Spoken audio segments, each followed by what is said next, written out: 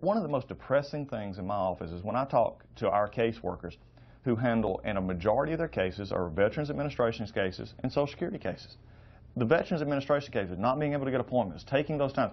When our constituents have to call my office so that they can get an appointment or they can get the things that are promised to them, that's a problem. And that is a concern for me in a sense that, that when you go back to the, to the way they uh, book appointments, they record keep, the folks who work in the clinics and work in the hospitals are good nurses and doctors who are trying to do their best, but the administrations of these, administra- the VA has let them down, and structurally we have got to change this because if not, then we're in a position, as one speaking from an Iraq war perspective and, and Afghanistan perspective, I've talked about this before in the sense that we're in a position now that the worst is yet to come. If we don't structurally fix this now, five, ten years from now, when many of these who are coming back from wars over the past 12 years, they're going to be utilizing the system more and more. We're broke now.